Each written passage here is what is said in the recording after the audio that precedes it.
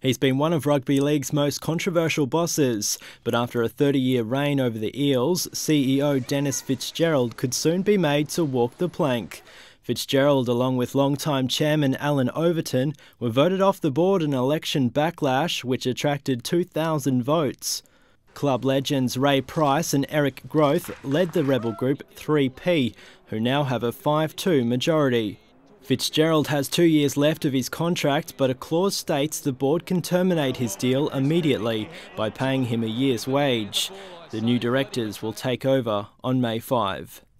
In other NRL news, Nathan Hindmarsh is waiting a result from the judiciary after this strike on Darren Lockyer on Friday night. I thought he went down the side of him. I don't know if there was actually any contact really. So, you know, I didn't think it was that significant. Other players in trouble with the judiciary include Cronulla captain Paul Gallen for this high tackle on South Sydney's Craig Wing. And Bulldogs hooker Michael Ennis has been caught out for a chicken wing tackle against Canberra yesterday.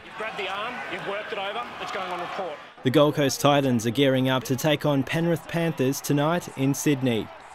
And a triumphant comeback in boxing, Danny Green defeated South African Anthony Van Niekerk in Perth last night. The road to redemption, it begins for Danny Green. Green's been out of the ring since December 2007, but you wouldn't know it, knocking out 35-year-old Van Niekerk in just the second round.